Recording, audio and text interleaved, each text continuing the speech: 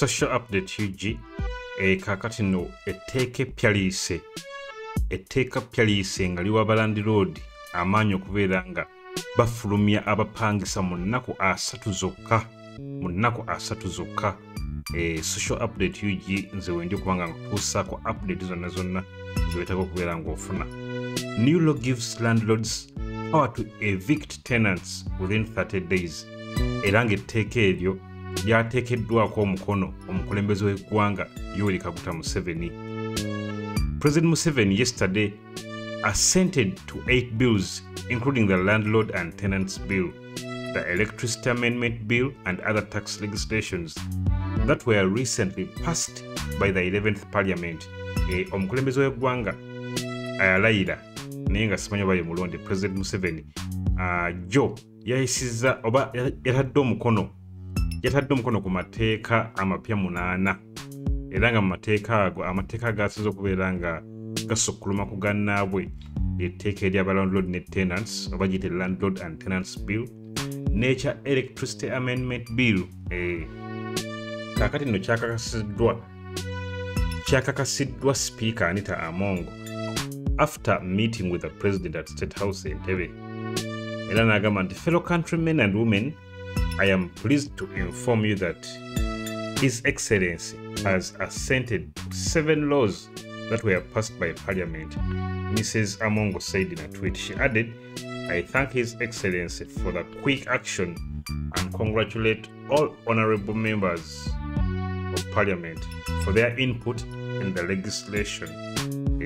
Bayisiza amateeka era nga etteeka eryasookedde eddala etuyinza okuba nga tusooka lyerya electricity bill. Electricity bill yabadde eti yabadde bweti the signing of the electricity bill into law means all persons found guilty of power power theft will be subjected to a fine of shillings 1 billion or be jailed for 15 years or both. Owulidde bulungi nti etteeka lino eripya eryateereddwako omukono lyakakasiza nti omuntu yenna singa akwatibwa ng'ali mu kubba masannyalaze egumukka mu v abeera alina okuba ng'awa engassi yakawumbi kamu shillings 1 billion oba okubeera ng'asibwa emyaka 15 mu kkomera oba okusaavinga byombi okuba ne fayini n'okusibwa emyaka 15 the landlord and tenants law also demands that all tenants meet their rental obligations within 30 days or be evicted. Eh, netteeka eripya eryabapangisa ne balandlord likakasa nti nno abapangisa mwenna mwenna mwenna. Olina okubeera ng'osasula ssente zo ez'obupangisa mu nnaku asatu oba obeere ng'ofulumizibwa. The Landlord and Tenants Act 2021 also empowers landlords to access the tenant's premise and take their property as a means of recovering the accumulated rent arrears. etteeka lino likkiriza ne balandiroodi bananyina mayumba okubeera nga bayingira nga bayingira mu mayumba g'abapangisa baabwe okubeera nga bawamba n'ebintu ebimu mu ngeri y'okubeera nga beesasula ssente ezibeera zibanjibwa Among the raft of bills, among the raft of bills that have now become laws include the tax bills that were processed by the Financial Committee and approved by the Parliament early last month. As she delivered,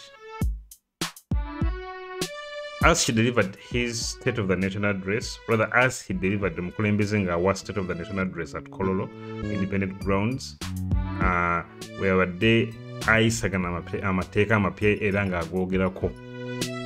President Museveni revealed that the government will introduce a total of 62 bills, 62 bills to be hand-led or to be handled and processed in the second session of the 11th parliament. kakati osobola okubeera nga omubula kirowooza mu comments ku mateeka gano amapya naye ngaokusingira ddala etteeka eryobupangisa nti ennaku asatu we ziyitawo nga tonaba kusasula landlord weddemu okubeera nga wakufulumya kyekisookerwako sinakindi nga wamba n'ebintu ebimu ekyo kimu ekyokubiri akwatibwa yena yena nga bba amasannyalaze ne gumukka mu vi wakusibwa emyaka 15 n'okuwa engassi yakawumbi kamu kyenkana kitundu kya ssente ezaguza emmotoka za zaba sipiika wa parliament ne deputy ya Tell me what you think in the comments and also don't forget to subscribe and hit the bell icon. Peace.